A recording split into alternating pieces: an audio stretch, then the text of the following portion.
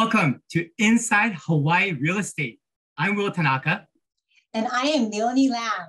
We are so honored to be your hosts for this show, Inside Hawaii Real Estate, where we are committed to taking a deeper dive together with you into our local Hawaii real estate industry across all Hawaiian Islands. There are so many topics to cover, and we'd love to hear from you. So feel free to make suggestions directly to us. We have a couple of goals during this time together with you every two weeks. We want to inform, share information, and perspectives, providing you with local and sometimes national real estate related information. Everything real estate. We're going to also bring on guest speakers that are experts in different areas to provide you with real estate insider information. That's right. Leonie is a real estate broker and vice president of Better Homes and Gardens Real Estate and has been working in the Oahu real estate industry for over 20 years. That's right, 20 years. She's very active within our local real estate industry, is currently serving in our leadership as a director with the Honolulu Board of Realtors and as the treasurer for Hawaii's Real Estate Business Institute. Wow, that's a lot. and then you've got our co-host, Will Tanaka. He's a full-time real estate professional serving his clients. And did you know that he's also a licensed attorney who attended William S. Richardson School of Law at the University of Hawaii? Will practiced law as a real estate litigation attorney at a very prominent law firm right here in Honolulu. For many years, he was the president of a local escrow and title company, also here in Hawaii, and he was general counsel with the nation's largest title company. Basically, Will has been involved in all corners and aspects of Hawaii's real estate industry over the last 15 years, and he really knows how to resolve complex issues. Well, our combined experience has led to this show. So let's get inside Hawaii real estate. What time is it? It's showtime, baby. So today we have a very special guest, the state escrow manager of First Hawaii Title, Shannon Cortez and she's also a very good friend. And this is going to be a fun topic escrow and title. Wow, escrow and title. I feel like not many consumers may know much about escrow and title, yet they represent such a vital and essential part of any real estate transaction. To me, they're reminiscent of unsung heroes, totally behind the scenes. But Will, why would you say this is a fun topic? Well, it's fun because today is the day we get to bring them to the forefront. And when we're talking about escrow, it's about interacting with people. It's about problem solving, putting the little pieces of puzzles together by dealing with all parties to the transaction. It's about helping buyers become first-time home buyers. It's about helping sellers navigate through an emotional process when they have to sell their generational home. So it's exciting, it's fun, it's all of everything. That's right. Shannon Cortez will be joining us in just a few minutes. But you know, before she dies, Will, did you know?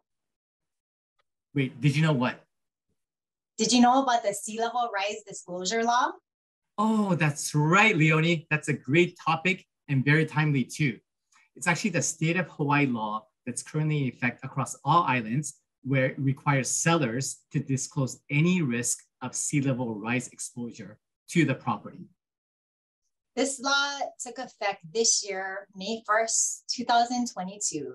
It applies only to residential homes, condos, townhomes. It does not apply to commercial properties.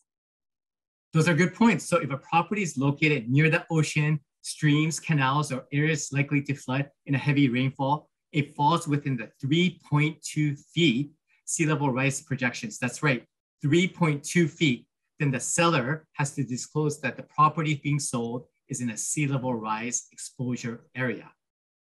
You know, I think this matters because 20,000 people are projected to be displaced and mm-hmm. 28 miles of coastline will be impassable with a 3.2 foot sea level rise. Wow. Taking it back a step, five years ago in 2017, the state actually published a report saying that our sea level is rising at an increasing rate due to like global, global warming. And it's expected to rate, rise up to 3.2 feet by the year 2100, which is about 78 years from now. So it could be an oceanfront property in Lanikai, a condo near the Ala Wai Canal, homes near Waianae Elementary School. But basically, if you're selling any home and it's in an area where the sea level rise could potentially rise by up to 3.2 feet, then you must disclose that. And that's pretty easy to figure out if your home is located, you know, in a sea level rise exposure area. There's a state website, enter your address. If your property is in a blue affected area, you have to disclose that in a sea level rise exposure area. So simple as that. And you know what, Will? Now we know about sea level disclosure. And uh, you know what? I actually like this know section. So let's make it part of the show. Sounds good. Okay. Well, I think let's welcome on Shannon Cortez. Shannon, I am a huge fan of yours. Aloha, Shannon, and welcome. Hey, Will. Hey, Leonie. Hey, Shannon. All right. So Shannon is a industry veteran, over 20 plus years. I don't know how that's possible. You must started when you were uh, in elementary. 16. Yeah. Okay. I was gonna say elementary school. So she's the vice president of Hawaii escrow operations of First Hawaii Title, born and raised on Maui, and she oversees Oahu, Maui, Big Island, six offices and over 30 people. Wow, that's incredible. Fun stuff, very fun stuff. Okay, so we're gonna start with a very hard question, okay? Tell us one thing not too many people know about you. Let's start with that. Yeah, tough question. Um, I want to say not too many of even my close friends know that my family is um, we're livestock junkies. I was raised, um, born and raised in Waikapu on the island of Maui, and um, basically my grandfather and his brothers started one of the few piggeries on the island, which are still in existence. So lots of hard work, um, tiring days, even more tiring nights, you know, but it was, it's fun. It was fun. It was fun.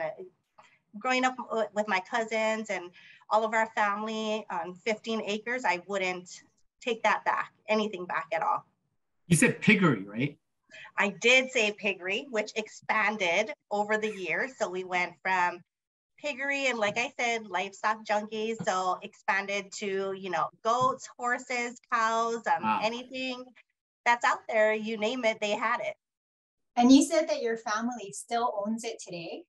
They do, yes. So it got passed down, of course, generation um, to my uncles still run the piggery up there. So the, our kids, our family, they still get to enjoy, if you want to say enjoy, the lifestyle of um, being raised on a farm. That is so cool. Well, so from farm to real estate. Yes, huge, right? Turn of the tides, different side of the spectrum. Everything in between, yes, total opposite. So how did you get into that? You know, so I never shared this before, but my aunt, she was has been in the industry. She's still in the industry. Um, I always found it when we would have family gatherings. I would I would be so intrigued of her day to day. She was an escrow officer, project officer, and it was always something that I just found very interesting. And um, I love accounting. So the money aspect, bringing that into play with you know hearing some of her stories, I was like, you know what, that's that's what I want to do. So after college, it was got my degree in accounting, um, tried the banking scene for a, a tad bit, and within two years, I made my way into the escrow and title industry. So kind of, yeah. Sorry, kind of starting us off. I mean, do you have to use escrow and title in all real estate transactions in Hawaii? Yes, you do. Um, because Hawaii is considered an escrow state. So yes. And so is it is it different in other states? I mean, you mentioned Hawaii is an escrow and title state. Is it different in other states? Yeah, good question, Leonie. Um, it does differ and it does vary. There are some states that would be considered an attorney state. So in Hawaii, we would say escrow where they would say settlement. Ah, got it, got it. So in a, how about in a situation where someone doesn't want to use escrow? A family member wants to transfer title to another family member what happens in that situation where they don't want to use escrow?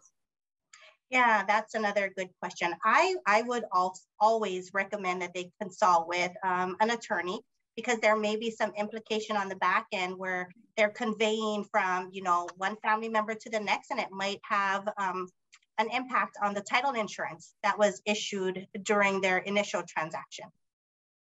Ah, that's a great point. You know, because it's Halloween month, do you have any horror stories to share for um, for us in escrow? Oh, for sure. So I'm in escrow. There's a bunch of them. Um, but one that really sticks in my mind is actually just a couple of years back was, um, you know, we had a, a seller who was in a distressed situation, had to relocate back to the mainland. We had a buyer moving in, um, coming in from the mainland, and it was law of attraction when there's a transaction that's going a certain way if you know where i'm going with that it will always veer that course. And this one transaction it was the basically complicated transaction. We got everything in line. Lender was ready in a position to fund. We packaged up our recording package ready to send it to our title team.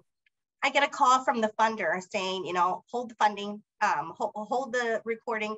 We are not funding the loan and they went into detail yes they went into detail as to you know the why um, came down to it that the buyer placed a resignation with their current employer. Oh, current no. employer exactly. Current employer buyer didn't anticipate right being let go turning in my resignation. Um, employer then turned around and basically terminated the buyer's employment that day lender called in to confirm um, confirm and re-verify employment and they couldn't do it because of the termination. Oh my gosh. Yeah obviously they couldn't go through with funding the loan. It, it was a complete mess um, of the entire situation. Buyers actually already um, moved into the property. So that in itself led to you know some pre some legal matters that they had to address. Um, and bottom line, basically, don't terminate your employment if you're in escrow. If you're purchasing a property, you know, get the advice from your agent, get the advice from your lenders, you know, don't make crazy moves without consulting the experts in the field because it definitely can lead to some crazy and unexpected um, situations. Hey, Shannon, you mentioned that the buyers who um, resigned, they actually moved in during escrow. Can you get into that a little bit more? How is that possible? Yeah, no, it's definitely possible. Um, you know, that that's some pre-work that goes into the negotiation stage or the contract stage. So there was a um, pre-occupancy agreement that was done, early occupancy agreement that was done, sorry about that, um, where there were terms and negotiations made between the parties, so seller and buyer, basically came to an agreement to allow the buyer access to the property without closing escrow. So hmm. yes, it definitely can be done. Wow, this is a huge lesson for any potential buyers. Do not change jobs, don't buy new cars, don't change your financial situation, right, Shannon? 100%. Yes, wow. always consult with the experts. Don't get yourself into a bind that will be hard for you to get out of. Well, good thing that there's escrow and title to protect all the parties to the transaction. Yes. Totally. Totally. You know, Shannon, what happens if you're in escrow in, in a transaction in real estate and someone passes away? What if the seller passes away? Then what happens? Hmm.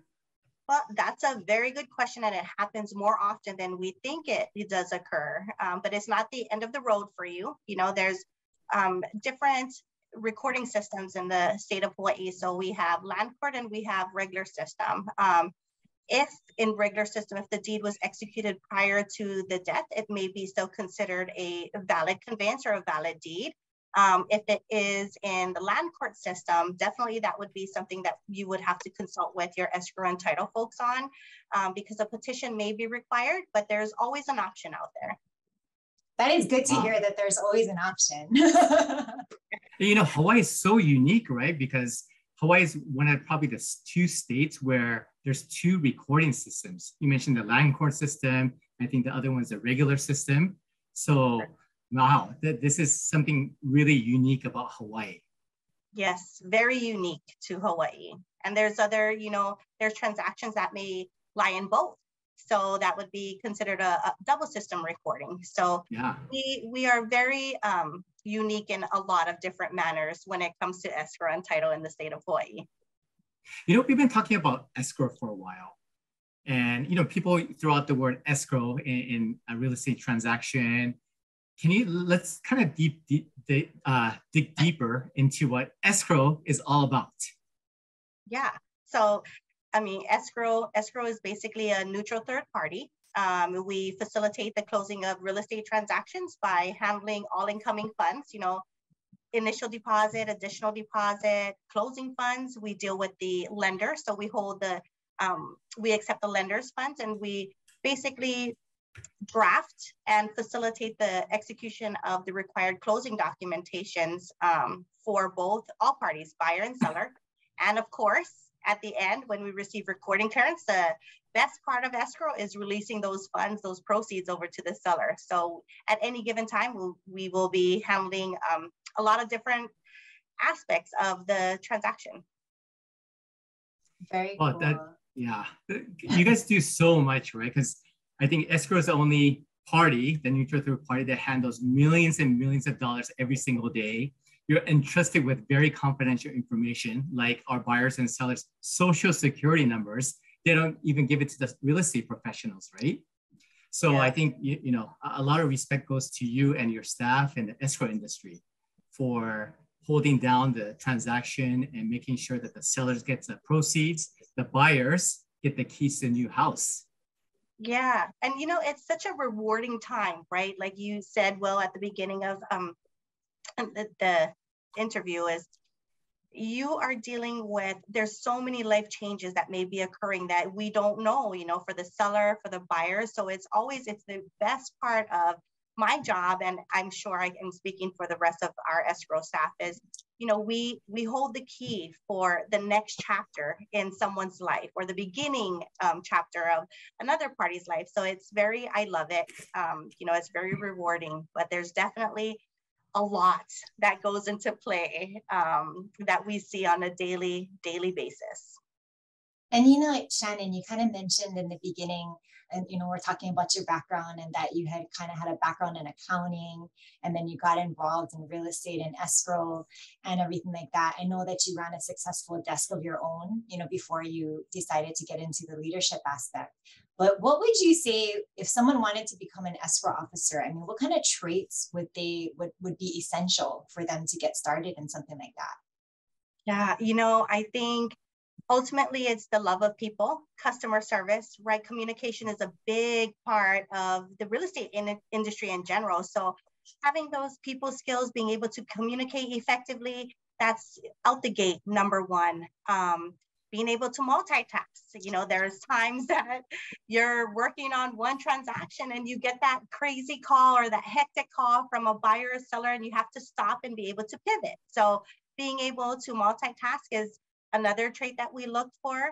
Um, and just being an overall great team player because you are working with the principals, you are working with lenders, you know, real estate agents, attorneys. There's, we can be dealing with 10 to 15 p- people at any given time. So being able to work as a team to be, get to the ultimate goal and it's closing your transaction. So that would be three, three king, three key things that I would look for um, in an individual who's interested in becoming or stepping into the escrow or title industry. That makes multitask. Sense. Whoa, that's a hard one. I'm not sure if I could ever become an escrow officer. It's one thing at a time. you know, you know uh, we talked about escrow and we hear about this title insurance. I know that it's one of the most unique types of insurance because we all understand car insurance, for example. We pay annual premiums to protect us in the event of a car accident, right? So uh, car insurance, it protects us for future events. But can you, you know, uh, go into a little bit more about what, what is title insurance? Yeah, you know, title insurance is a very part, a very important piece of the puzzle when it comes to escrow and title. Um, you pay a one-time premium, one-time premium, unlike you know car insurance or homeowners insurance where you're paying monthly. And that premium will actually give you a policy that insures you for any matters that occurred, you know, prior to you taking ownership and during your course of the ownership of the property. So um, very important. I can share, you know, that there have been times where we hear, um, you know, there's someone that comes to the property and knocks on that door and says, "Hey, Mr. Will Tanaka, that that's my property that you're in, right?" You immediately start to panic, like, "Oh my gosh, what am I going to do?" You know, I just invested in this huge part of my life, right? Purchasing your home first time, whether it's your first time, mm-hmm. second time, third time, it's still a huge investment. And just having that title insurance will make you feel secured. You know that you can you know go back to the company that issued you that policy and you're protected. We would basically come into the picture and we would defend your right to that property. So very important. In hawaii who pays for that? Like would it be buyer or seller good question and um, the norm it would be a 60% split to the seller 40% over to the buyer that's interesting, yeah. That that the seller pays 60%, the buyer pays 40%. And I, I don't think that's another unique aspect of, about Hawaii, right? And I think part of it is, you know, the seller is giving a warranty deed to the buyer. So they're guaranteeing certain aspects of title. And you would definitely want the buyer to get title insurance because as a seller, you don't want to be liable for it. So it's in the best interest of the seller to pay at least a portion of it. In Hawaii, pays 60%. And then let's have, you know, the title insurance kind of oversee everything that happened in the past, like you were saying, Shannon. Yep, exactly. Well, see, isn't escrow and title pretty fun, Leonie? Actually, it's a lot of fun. Yeah. and then I can see Shannon has so much passion for it, you know, and I, I'm just, it's, I'm just so grateful for the time that she's spending with us, kind of sharing the knowledge, right? Because yeah. this is such an important aspect of, of real estate, especially Hawaii real estate. Yeah. And then, you know, when it comes to choosing an escrow company in a transaction, who makes the call? Who chooses the escrow officer to use in a, any given transaction? Well, according to the contract, the buyer basically sets forth um, the title and escrow company. Mm, Okay. So it could be negotiable. Definitely. Yeah. And it yeah. all depends, you know, we see um, it depends on where the market is, you know, the current conditions of the market, who dictates the market, right? So right. we're basically seeing currently right now that it, it, it could be construed as a seller's market. So a lot of the time the seller is kind of dictating um, who the escrow and title company um, are. And a lot of the back end story would be because um, title work, sometimes um, the pre-title work is completed prior to the contract actually making its way into escrow. That's a very good point to have really good relationships with the escrow and title company because you, you know sometimes uh, there's death in the family, marriages, divorce, a change in trusteeships, and there's some pre-title work before the uh, the agent listed on the market.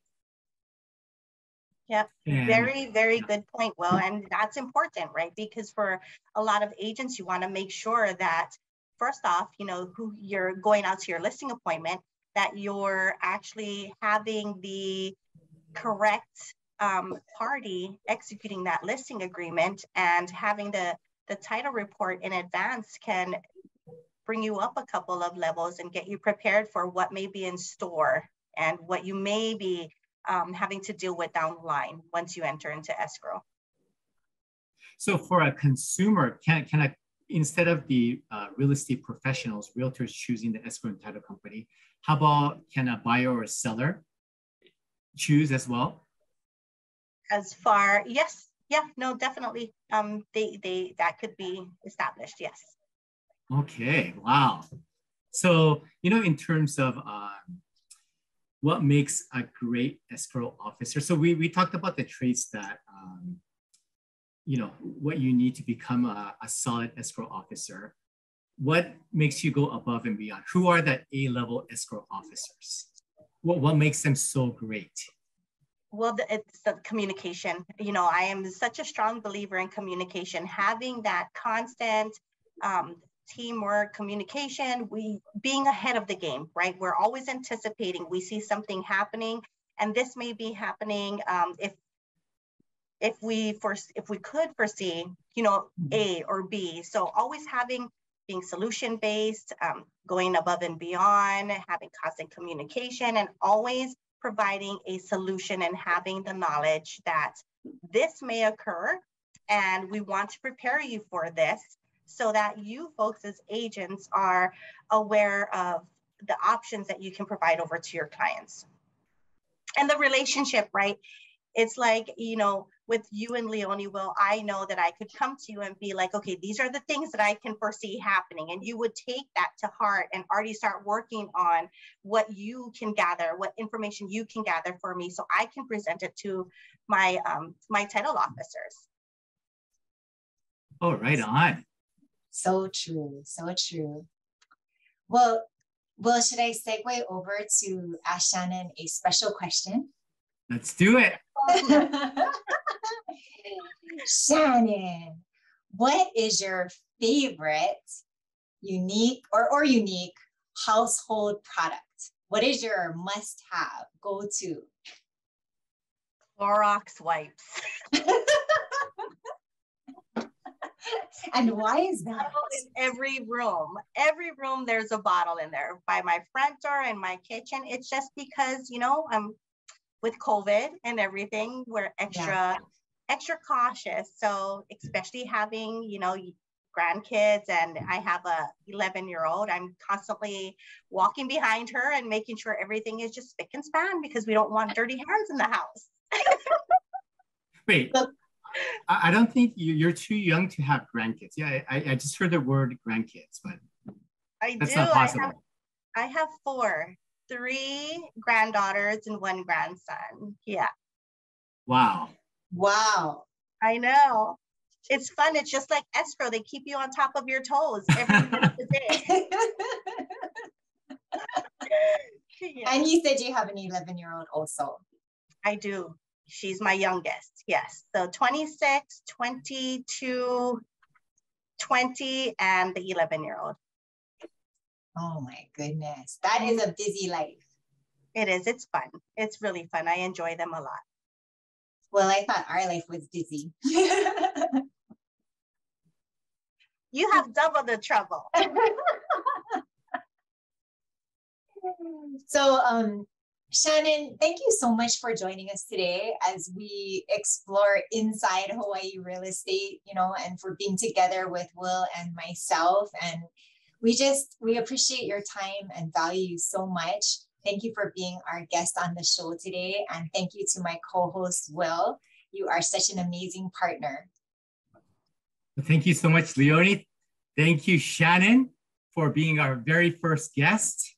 And this is really excited to be uh, to host Inside Hawaii Real Estate. And you know, we had a company meeting today, and we'll leave with this because with the COVID getting over it, there's a lot of things going on, people making changes.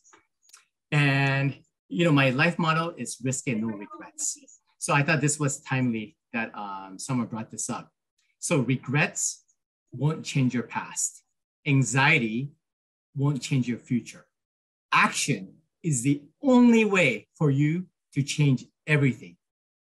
So thank you so much, and we'll see you in a couple weeks.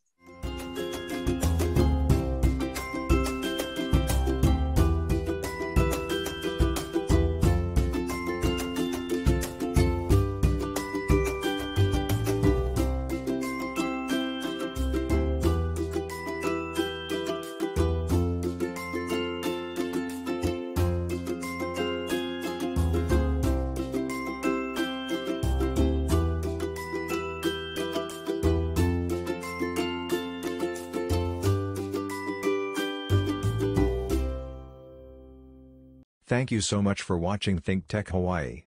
If you like what we do, please like us and click the subscribe button on YouTube and the follow button on Vimeo. You can also follow us on Facebook, Instagram, Twitter, and LinkedIn, and donate to us at thinktechhawaii.com.